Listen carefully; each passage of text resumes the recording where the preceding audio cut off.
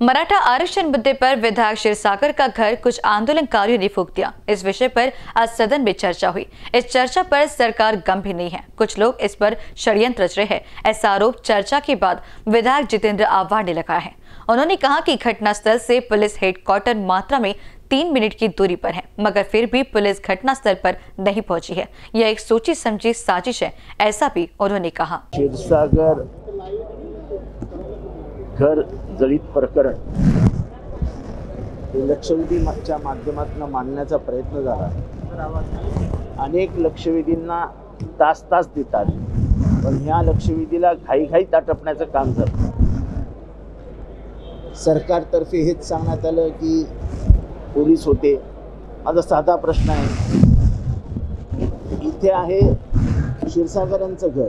आज समोरच्या बाजूला आहे पोलीस हेडक्वार्टर्स म्हणजे धावत धावत जरी आलं पोलीस तरी पाच मिनिटात घटनास्थळी पोहोचू शकतात. ही आग जवळजवळ चार तास जळत होती. किती पोलीस पोचले तिथे?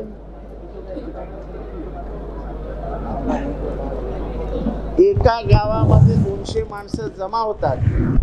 पोलिसांना संशय येऊ नये. असं कधी झालंय का? प्रकाश दादा सोळंकेंचं घर लांब आहे. पाच हजाराचा मॉप चालत जातोय. हे पोलिसांना कळलं नसेल का? तेव्हा ह्या दोघांची घरं जाळणं हे राजकीय षडयंत्र होतं आणि ते दाबून टाकण्याचा प्रयत्न आज सरकारने अध्यक्षांच्या मार्फत केला असेल किंवा काय मला माहीत नाही पण या लक्षवेधीवर चर्चाच करू दिली नाही. पोलीस स्टेशन पोलीस हेडक्वार्टर्स समोर आहे त्याच्या घराच्या. आणि तरी इतका वेळ लागतो पोलिसांना पोचायला हे सगळं संशयास्पद आहे. हे कोणातरी वाचवण्याचं काम चालू आहे. आणि ह्याच्यात शं राजकीय षडयंत्र आहे. राष्ट्रवादीचंच कार्यालय पूर्ण जाळलं जातं बाकीच्यांच्या खुर्च्या जाळल्या जातात. हे सगळं सांग आम्हाला सांगायचं होतं सांगू दिलं नाही. त्याच्यामुळे क्षीरसागरांच्या घराची झालेली जाळपोळ ही इतकी म्हणावी तितकी सोपी नाही आणि एस आय टी ती सोडवू शकणार नाही. या एस आय टीचा कुठलाही रिपोर्ट हा शेवटी गव्हर्नमेंटकडे जातो आणि गव्हर्नमेंट तो फायनल करतो.